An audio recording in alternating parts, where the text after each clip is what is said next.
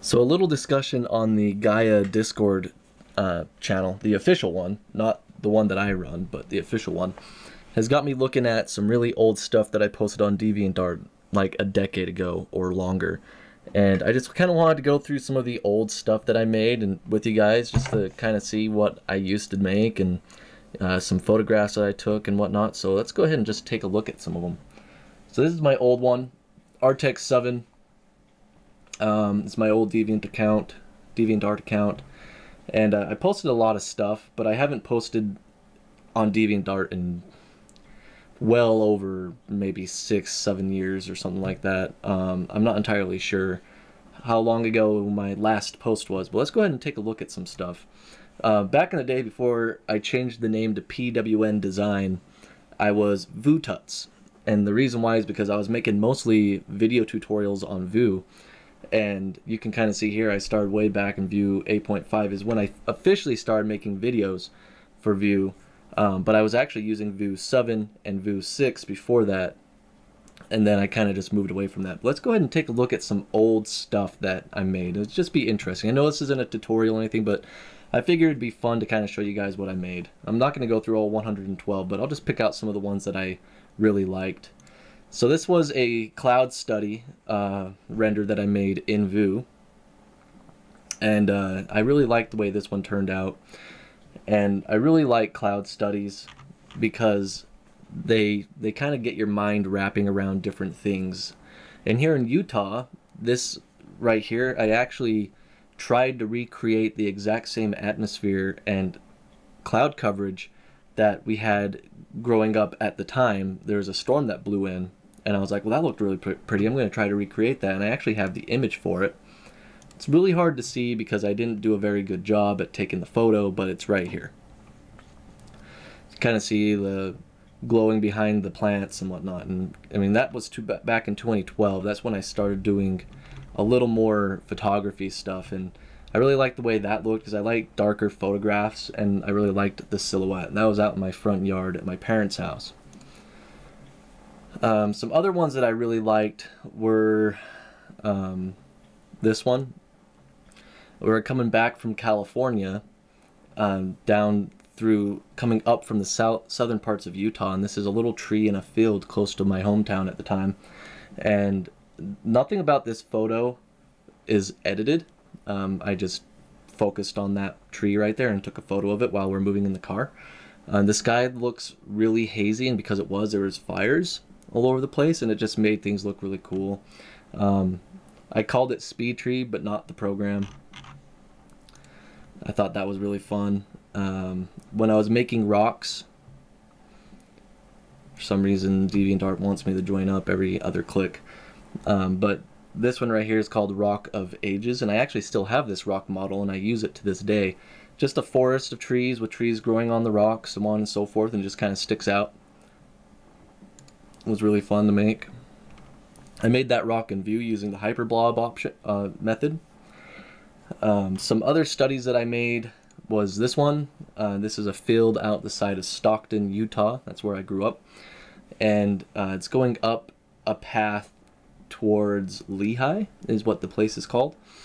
I really liked the way that looked, so I took a photo of it. This one is edited. I really liked the sepia tones back in the day. It's kind of interesting to see how your different like methods and appreciation for different styles styles of art kind of change over time. This was a flower that was growing in my parents' front yard, um, and I really liked the way this one turned out. I took this on a Canon T1i. I still have that camera. It's the camera I use to this very day for all my photography reasons. I was using the prime lens, their 100 millimeter prime lens uh, macro lens and took that photo. I really like the way that turned out. Um, I really like macro photography. This is a lake that's out in Stockton. It's all dried up now. It's it's been it, it has water in it through like maybe two or three months of the year and then it dries up because we are in a desert so it doesn't stick around for very long. There used to be fish in that lake and it's called Rush Lake and I really remember I remember going down there and fishing a little bit. There was like uh, bass and bluegill and carp and I think some catfish that were in there. Uh, a long time ago, the lake used to be really high. It used to come up to here. There was it was about maybe 15 to 20, maybe 30 feet deep. Um, but it, it it dried up, and it was expected to. It, it was expected to dry up exactly when people said it would dry up because it might. It's it, there's very little water runoff into there, and um, it wasn't expected to stick around. So, but it fills up once a year after winter's over. It sticks around for maybe two or three months after summer starts or before summer starts, and then it just kind of dries up. Still pretty though to go down there and take photos when it's filled. Um, some more photography study right here. Uh, again, I really like macro stuff. This is, I believe, um, was it alfalfa? I believe this is alfalfa. I could be wrong, but I think it's alfalfa. Um, and it was just growing in my parents' front yard. Uh, I was still, I wasn't living with them at the time, but I would go out there and visit all the time. And I graduated in 2009 and moved out of my parents' house in 2010, I believe, into my own house. And um, graduated high school in 2009. I should I should mention, but I still did a lot of photography, and I like the way this one turned out. Again, it's just more uh, photography. Let's take a look at some renders. Come on, there we go. So, uh, as you can see here, I rendered I everything I did I did as a study during this time because I was still really learning, but I was sharing what I was learning, and so you can see stuff like this. I was really proud of this render because it was a very nice volumetric forest um, with terraformation. And this is the terraformer right here, and you can see it's trees were going. That's the story behind it anyways. These are using, I was using Vue at the time and Vue assets. So they don't necessarily look the greatest. Um, they, they're very straight. But again, it's just one of those things that you learn over time. But I really like the way this turned out. I've been trying to recreate this a lot in the past, and I always fell at it because I, I just got this one perfect with the way I wanted the atmosphere. Just never went back and recreated it exactly the same way. Here's the terraforming right here. This is what it looked like before. Um, and then you can see they're kind of working. I was, and you, it's very uh, noisy in the lights because I wasn't using really high render settings. All right, um, more, this one right here is still actually my all-time favorite Vue render. It just has really good distance, uh, very good atmospherics. It's just a very simple scene. I have you know, different types of vegetation at varying levels of height and stuff like that, and I think this one turned out really well. I always try to go back and recreate something like this too. Um, you can see here I made this in Vue 10, had 4.2 billion polygons, uh, two hours to set up and five hours to render and 10 seconds of Photoshop. And that 10 seconds was just to really put my tag down there. This was done in 2012. So just a couple years after I moved out of my parents' house. That one is still one of my all-time favorites. Um, I always I also like doing ocean uh, and cloud studies as well. I always like doing some renders above the ocean with some good depth. These turned out really fun, really good in my opinion back in the day, and was really fun to create. This one right here I actually have printed on a canvas because I was really proud of this one too. It was a 4K render. Um, and my wife really liked it too. She really liked how the clouds looked really soft and there's just a nice silhouette of the space station there. And uh, we have some stars that are all over the place in the background. And I just really liked the way that one turned out.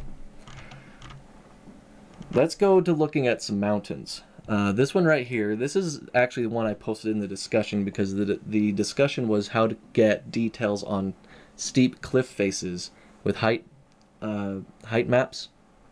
And this is a height map that I brought in from World Creator. Or no, not World Creator, sorry, World Machine. Um, and it has some pretty steep cliffs and uh, some snow and some nice soft snow uh, all the way down to the mountain and some clouds from Vue. and you can see that even here, this rocky structure uh, has nice sharp details on the steep surfaces, and that's because everything was triplanar mapped at the time. And I think the snow was actually procedural.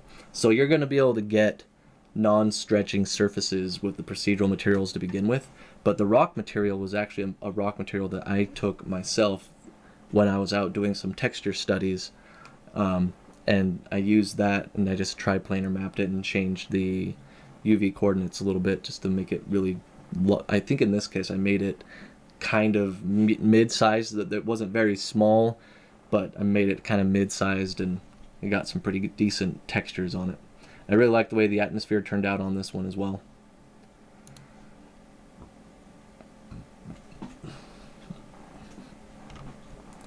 And you can see here I really tried to do the the dark, moody scenes and didn't really work out all that well. This is a world control uh, or geo control render. So this was geo control right here, made with geo control 2. The geo control is what World Creator is now. So uh, if anybody remembers playing with geo control, this uh, a long time ago in 2011 is when I made this render. Um, this is the the mountainous fractal that I made in uh, GeoControl, rendered in Vue. Uh, let's keep looking. This one right here, I remember this one. This one was really fun, and this one. I like this one because I actually managed to get fog over the mount or water, and the mountains look really nice in the background. But I would go back and change a lot of these if I could. Uh, I just don't use Vue anymore. I wouldn't be opposed to going back to it, but this was almost exactly a decade ago, uh, in 2011, is when I made this render. And I remember making this at my house. This is, I was making this on a computer uh, that was running a, let's see if I have the, uh, I don't have the, the stuff here. So what I was using was a 560 Ti and a quad core process, or no, it was a dual core processor.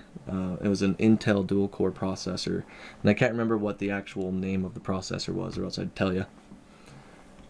Uh, again, here's like those sharp cliff faces where you can get some nice texture details on the cliff faces with a height map.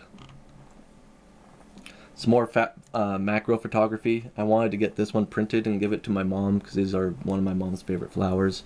Just never got around to it, and I don't think the print would be all that great because it was a low resolution, but I wanted to print it out for her, just never did get around to it. Um, this is when the um, terrain fractal was introduced into Vue, and the nice thing about the terrain fractal is that it, it gave you a shape, an overall shape uh, for a terrain, and then you can introduce the um, mountain fractal uh, the mountain version 2 I believe is what it was. And you can blend them together and you can turn off all of the blending for the uh, the actual mountain noise and then just introduce the rock noise. And then what you ended up getting was these nice big rock clusters all over your landscape. And you can see them right here in the background up on the tops of the peaks and whatnot. And so you got really good um, rocks forming on what I called the bluffs here. So this was a terrain fractal mixed with a Rocky Mountain fractal. And all the atmospheres you see in these renders are ones that I made for Vue. So I didn't I didn't use any pre-made ones. They were all made um, by myself, just in studying stuff. And you can see here, um, I did this one, and then I tried to replicate it here. Didn't really turn out too well, but I mean, it is what it is. Uh, let's see. Some of them are just garbage, but I posted anyways. So like this one, hot garbage. so um, again, it's just one of those things that you do when you're trying to learn. You just, I mean, I posted literally everything that I made. This one right here, hot garbage. I mean, I would not post something like this nowadays. I would spend a little more time in fixing it, but that's supposed to be a desert sand and rock kind of look. Um, let me show you the very first critiqued render if I can find. Let me show you this one real quick actually. So I was trying to make a desert plateau scene and I got the texture down. I really like the way the textures look, but the overall fractal um, making the, the desert plateau look I didn't really like. I don't like these sharp peaks right here. I could tone down the noise a bit more here, but the background and the foreground, I really like the lighting in this one too, and the clouds and the, and the texture itself is actually really nice in my opinion. I would go back and use that. I would change the landscape around a bit, but I would go back and use that. Um, so the very first critiqued render, this one.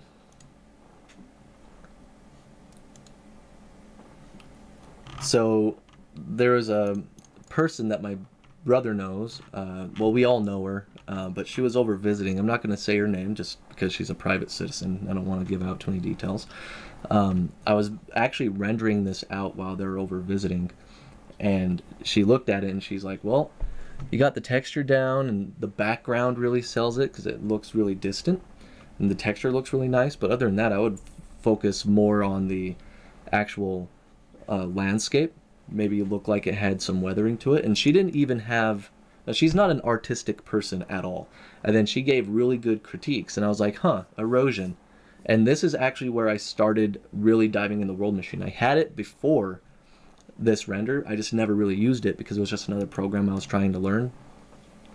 And I decided to take this landscape I made, I exported it out of Vue and I imported it in the world machine and I eroded it a little bit. and You can actually see fluvial erosions in the one that I eroded, but I didn't post it. I don't know what happened to it. Um, I wish I knew because I'd show you guys, but it turned out much better. And I showed her after that, and she was like, "That's perfect." And I was like, "All right, cool." uh, let's see. Uh, this image right here is actually used as an image on a YouTube video and I tried to recreate this one. This is the first one. And then I was like, well, you know what? I didn't really like the way this one turned out. So I redid it and I did this one. And I liked this one a lot more. And this is actually an image on a YouTube video that was released by a guy named Ben Hanson. He does a lot of musical covers, musical score covers, and he wanted to use this one. And he was like, can I? And I was like, yeah. He's like, what, are there any royalty fees or anything like that? I'm like, no, just use it. Go ahead. It's all right.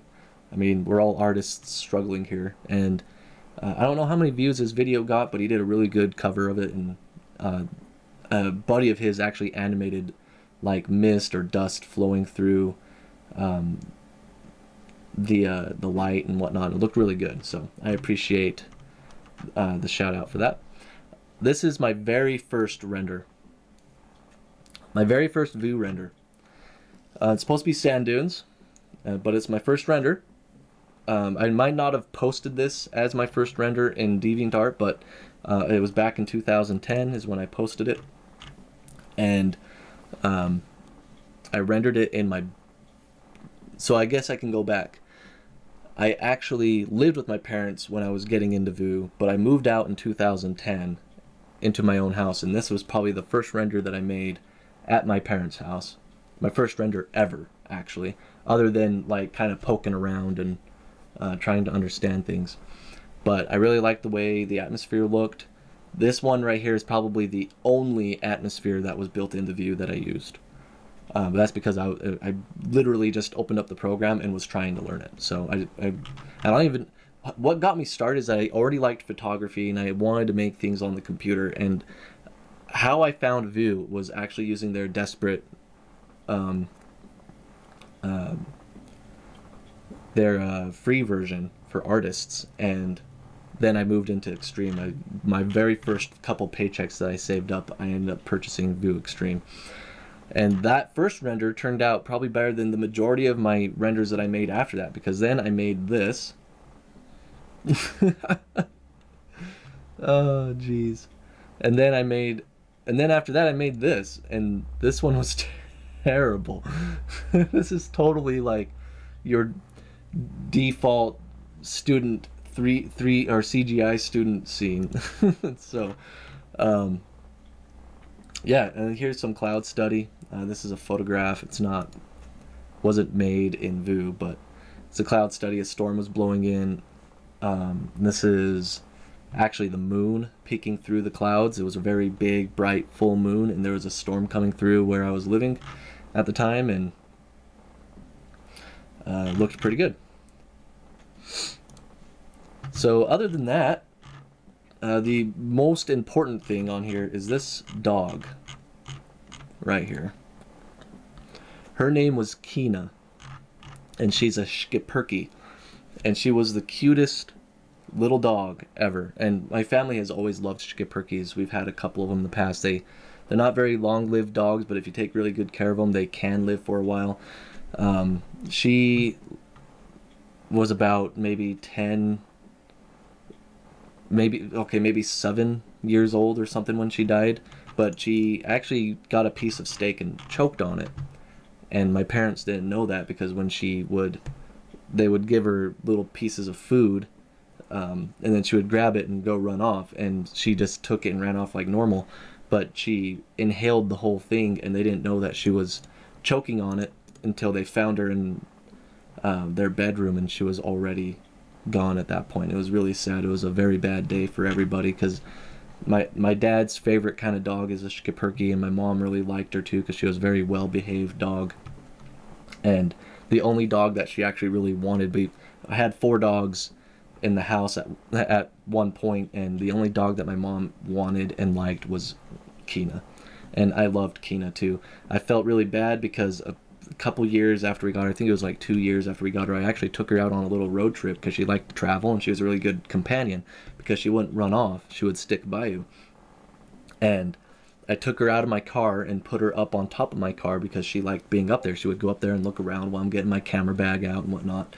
And then she got super excited when I got everything out and I shut the door and I slammed her paw on the door and it made me feel really bad and I had always felt guilty even to this day because I don't any small or any animal in, in general, but especially like small animals that you know they have more fragile limbs and stuff like that can get hurt really badly when somebody does something stupid and I did something stupid. Uh, not on purpose, but needless to say, it was still stupid. Um, she didn't have any broken lip or bones or anything like that, but she did limp on it for about a day, and then after that, she kind of got over it. But she was still a really good dog after that. It was like it never happened, and I shouldn't feel guilty about it, but I still do. So anyways, those are, oh yeah, this was a photography study for uh, my photography class in high school. That's my buddy Steven. That's me. And he, I was like, well, we got to do something really dramatic. I mean, we have to, um, we have to really do something uh, that will stick out and kind of play with the lighting a bit and like the uh, the mood. And he was like, well, why don't I just lay on the ground and I put my hand up and then you can like pretend to kick me. And I was like, well, that's pretty violent, don't you think? I don't know if I want to do that. And he was like, no, it's all right, go ahead. And so he got on the ground and he posed like this. And I remember right before we took the photograph, um, he was like, I was like, you look like you're posing should I draw you like you are posing, but you look like you're posing for something a little bit more intimate? Should I draw you like one of my French girls? and he was actually laughing right here. He started to laugh. And then when he started laughing is when I got up to go kick. And then as soon as I got up to go kick, um, the camera shutter went off. And so what's funny is that I just look really pissed. And then he looks like he's about to laugh. He does look like he's saying no, but anyways, I thought that was funny. I put he got what he deserved. um, uh, it was an expressive conceptual. Um, so is what that person said. Anyways, that was that was pretty fun. He's a good guy. Uh, we still hang out to this day. He's been one of my best friends since like before I can remember. I met him when I was seven, and uh, we still go and hang out. When I went fishing with him not too long ago. Uh, this one right here actually earned me a couple of awards on Vue's website. One of the best in show kind of awards a couple times running. Um, and I called it the universe bubble. And all it is is spheres and a lot of them. And I lined them up in a grid pattern and they all kind of reflected off of each other. And then I had a um, galaxy nebula kind of look in the background that would show up in the reflections. And then in each bubble, I put a little black uh, sphere in the middle of it. And this one I protruded out a little bit so it looked like a pupil. Uh, you can see how it's not completely inside the bubble like these. This one kind of sticks out a little bit. Um, and that one uh, earned me quite a few rewards, and I thought it was pretty fun. So I don't always just do landscape stuff. I always and I I did a little bit of human study, and this one is terrible. I was using a Daz model. I still use Daz. I think it's all right, but um, I would go back and definitely change up a lot of stuff, especially with the knowledge I have now. Um, I use global radiosity in this one, and then um, let's see this one. See, I tried to recreate that volumetric forest look, but this one I thought I'd have a little more fun where it's more warm on one side, and more cool on the other. But that is about it. I don't think I don't think there's much more that I would be willing to really show you. Uh, it's just fun to go back and look at old renders and see how far you've come or if you've if you've gone anywhere for for that matter. And I think I've come a long ways. I don't really do a whole lot of rendering now. I mostly do just teaching. But when I do renders, I, I don't do them as often and I don't post them as often as I did in the past. Like I said, I just posted everything that I ever made, whether it was good or not. Now I'm a little bit more selective in what I post. I, I mostly post what I think looks really good. Uh, let's talk about this one real quick, actually. This one's actually really cool because I was using the, uh, like I mentioned not too long ago, is I was using the terrain fractal and uh, on the terrain fractal I used the Rocky Mountain fractal blended together and that's what gave me these big rocks right here. Um, you can see here it's a Blender node tutorial. Uh, it's a beginner level and I just down I just had people download them for free these these tutorials for free and they can use them however they wanted. And this one turned out really really good for the time. It's not good now, but I really like the way the atmosphere turned out. So over here you have just this normal like uh, aerial perspective going on right here, but over here you can see like this fog or mist kind of creeping up the sides, which I thought looked really cool uh, for the time. But without further mention of any other renders, I'm going to go ahead and call it good here. Thank you guys for watching. Thank you for exploring um, my old renders, and I hope you guys found them humorous or uh, or anything like that. I don't really, whatever kind of word I can say, it doesn't really matter. Thank you guys for watching. I'll see you in the next video.